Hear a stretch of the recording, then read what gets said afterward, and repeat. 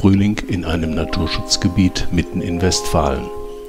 Die Sonne liefert schon einige Stunden Licht und Wärme, Gebüsche und Bäume sind noch ohne Laub. Nur der Schwarzdorn hat es eilig, noch bevor die ersten Blätter erscheinen, hat er in nur wenigen Tagen eine weiße Blütenpracht entfaltet. Tief unten am Grunde der Blüte glänzt kalorienreicher Nektar. Die erste und zurzeit einzige Nahrungsquelle für die frühen Insekten.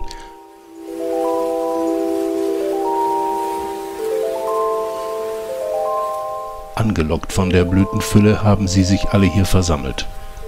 Es sind Honigbienen. Schnell und äußerst effizient suchen sie eine Blüte nach der anderen ab. Sie orientieren sich am Duft des Nektars, Ihre Fühler geben Auskunft darüber, wo etwas zu holen ist. Der Saft landet in ihren Honigmägen und der gelbe Pollen, der in der Behaarung hängen bleibt, wird zusammengebürstet und an den Hinterbeinen abtransportiert.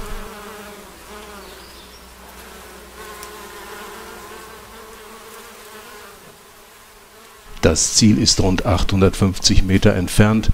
Es sind die Bienenstöcke oder Beuten, wie Imker sie nennen, Dort haben sie den Winter in einem Holz oder Kunststoffkasten verbracht und sind jetzt von der Sonne aufgeweckt unterwegs. Die Entfernung ist für Honigbienen kein Problem. Bis zu einem Kilometer fliegen sie hin und zurück, solange wie die Blüten ihren Nektar liefern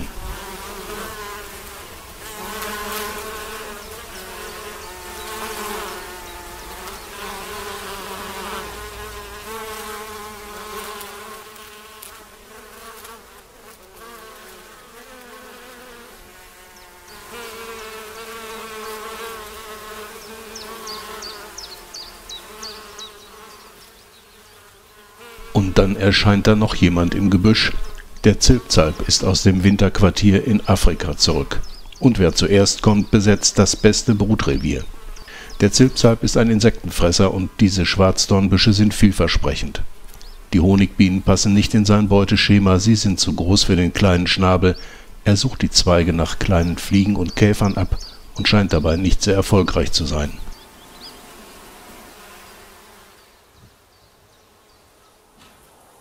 Der Schwarzdorn hat derweil sein Ziel erreicht, erfolgreichen Sex. Und dafür hat er einigen Aufwand getrieben. Er braucht jemanden, der seine Pollen von einer Blüte zur anderen trägt, und die Honigbienen machen das schnell und zuverlässig. Als Belohnung gibt es zuckerhaltigen Blütennektar und reichlich Eiweißkost in Form von Blütenstaub. Nach diesem Akt gibt es für den Schwarzdorn keinen Grund mehr mit Nektar zu locken, er braucht die Nährstoffe jetzt selbst für den Blattaustrieb.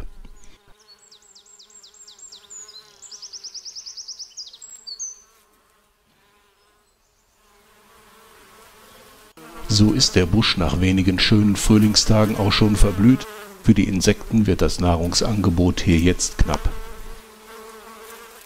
Imkerei ist Landwirtschaft und der Imker weiß natürlich, dass für seine Bienen und für ihn hier nicht mehr viel zu holen ist. Er hat seine Bienenstöcke bereits zu ergiebigeren Quellen abtransportiert, denn andernorts beginnt jetzt die Rapsblüte. Nur zwei von den mehr als 20 Völkern sind zurückgeblieben es dürften aber immerhin noch 30.000 dieser Hochleistungsinsekten im Naturschutzgebiet herumfliegen und die restliche Arbeit verrichten. Doch was ist mit den wildlebenden Insekten?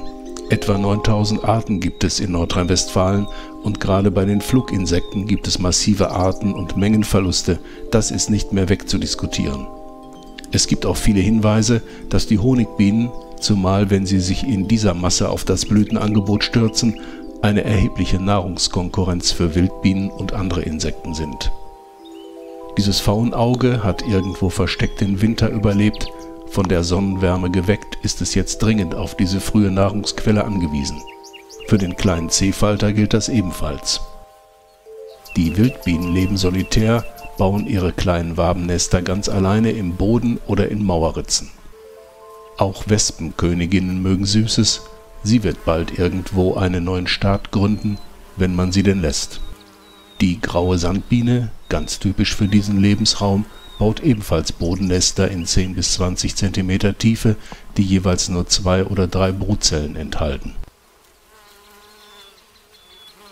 Ein winziger Rapsglanzkäfer ist auf der Blüte gelandet. Was die Größe betrifft, ist er ein typischer Vertreter heimischer Insekten. Die allermeisten sind kaum größer als 4 mm und deshalb den meisten Menschen unbekannt. aber ihre Rolle im Naturhaushalt ist unbestritten. Sie sind zum Beispiel die Nahrungsgrundlage vieler Singvögel wie dem Zilpzalp. Das gilt auch für diesen Winzling, einem Rüsselkäfer. Er bohrt gerne Blütenknospen an, um dort ein Ei zu hinterlegen. Statt der Früchte wächst dann dort eine Käferlarve heran. Nicht alle Insekten wecken auf Anhieb unsere Sympathie, aber mit dieser Beurteilung und Einordnung werden wir ihrer Bedeutung nicht gerecht. Zu Schädlingen werden sie übrigens erst, wenn wir ihnen ihre Lieblingspflanzen auf Ackerflächen gleich massenhaft anbieten. Dann kann auch der winzige Rapsglanzkäfer zum Problem werden. Hier im Naturschutzgebiet gilt es aber, die ganze Vielfalt zu schützen.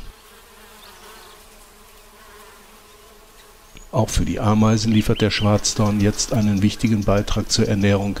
Dafür scheint ihnen kein Fußmarsch zu weit.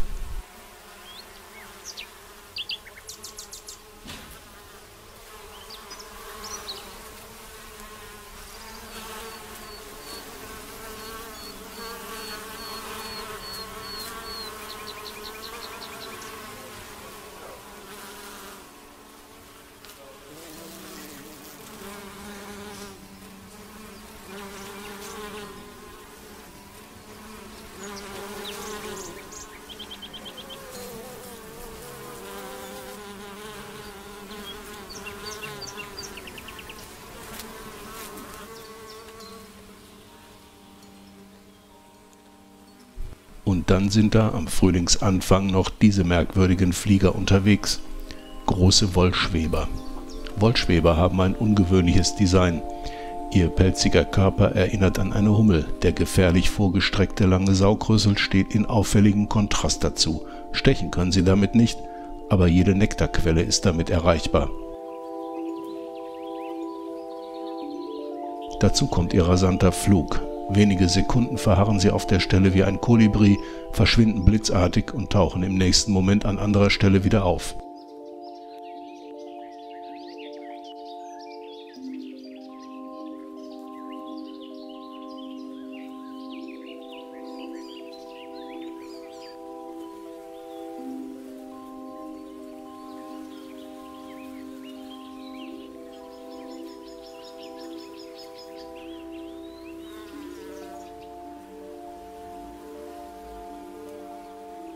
Die Videoaufnahmen hier sind in Zeitlupe wiedergegeben, unmöglich sonst Wollschweber so lange zu beobachten.